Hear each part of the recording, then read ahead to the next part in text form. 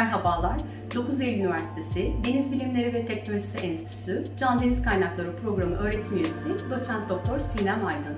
Sizlere Can Deniz Kaynakları Laboratuvarı hakkında bilgi vermek istiyorum.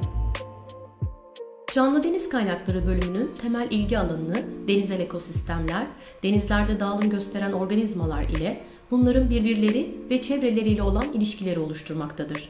Bu kapsamda enstitümüzde denizlerimizde bulunan omurgasız canlılardan en gelişmiş deniz memelerine kadar birçok türün biyolojik ve ekolojik özellikleri araştırılmaktadır.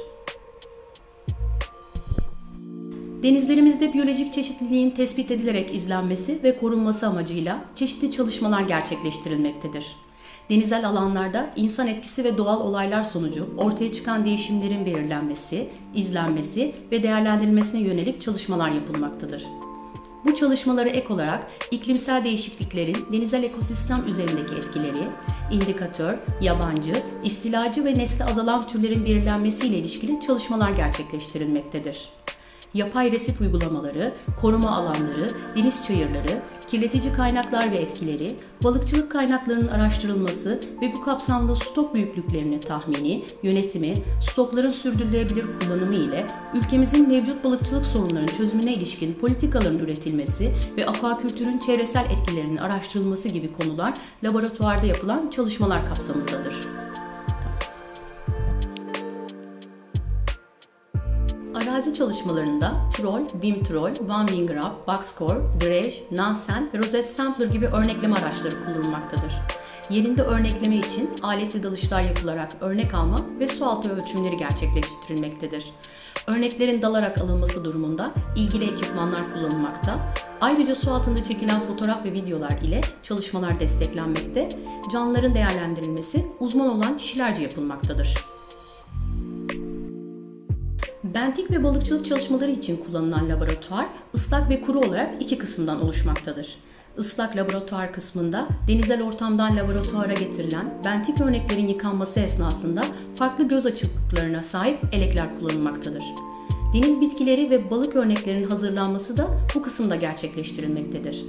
Çalışmalarda zararlı gazların ve oluşan kokunun güvenli bir şekilde ortamdan uzaklaştırılmasını sağlayan havalandırmalı bir kabin olan çeker ocaktan yararlanılmaktadır. Islak laboratuvarda balık veya diğer deniz canlılarından amaca göre çeşitli morfometrik ve meristik ölçümler alınmakta ve vücut ağırlıkları incelenen türün büyüklüğüne göre farklı hassasiyetlerdeki terazilerle ölçülüp kaydedilmektedir. Yine bu örneklerden amaca göre büyüme, üreme, beslenme gibi özelliklerini ortaya koyabilmek için otolit gibi kemiksi yapılar, pullar, kabuklar, çeşitli dokular, üreme ve mide gibi organlar gerekli prosedürler uygulanarak çıkarılmakta ve saklanmaktadır. Hazırlanan örneklerin incelenmesi aşamasında kuru laboratuvarda bulunan ekipmanlarla çalışılmaktadır. Görüntü kayıt sistemine sahip stereo mikroskop ve ışık mikroskoplarından faydalanarak örneklerin ayıklanması, gruplanması, tür tayinlerinin yapılması, birey sayılarının belirlenmesi ve fotoğraflarının çekilmesi aşamasına yararlanılmaktadır. Laboratuvarda bulunan hassas analitik terazi, organizmaların ve çalışmalarda gerekli olan kimyasalların en az hata payı ile ağırlık ölçümlerinin yapılmasını sağlamaktadır. Balıklardan elde edilen yapıların incelenmesi stereo mikroskop altında kuru laboratuvarda gerçekleştirilmektedir. Makroalg örneklerinin kuru laboratuvarda tayinleri yapılabilmekte ve seçilen bitkiler kurutularak herbaryum oluşturulmaktadır. Ayrıca biyokütle ölçümleri için etüvde kurutulan örneklerin kuru ağırlıkları hassas terazi ile ölçülmektedir.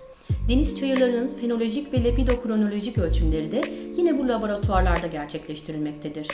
Deniz çayırı yapraklarının en boy ve benzeri ölçümleri kumpas ve cetvel kullanılarak yapılmaktadır. Elde edilen verilerin istatistiksel analizinde güncel programlar kullanılmakta olup verilerin alansal olarak değerlendirilmesinde coğrafi bilgi sistemleri ve uzaktan algılama uygulamalarına olanak veren yazılımlar kullanılmaktadır. Çalışma alanının hidrografik özelliklerinin çözümlenmesinde fiziksel oşinografiden, dip yapısının belirlenerek örnek alma noktalarının seçilmesinde ise jeofizik çalışmalardan yararlanılmaktadır. Denizel canlılar ve ortamları ile ilgili olarak yapılan çalışmalarda su kolonu ve sedimentte yapılan araştırmalarla bütünlük sağlanarak biyotadaki değişimlerin canlıların yaşadıkları ortam ile ilişkilendirilmesi, canlı deniz kaynakları laboratuvarında yapılan çoklu disiplinli çalışmaların bir bölümünü oluşturmaktadır bilimsel araştırma yapmayı ve denizlerin büyülü dünyasını keşfetmeyi seven herkesi aramızda görmekten büyük mutluluk duyuyoruz.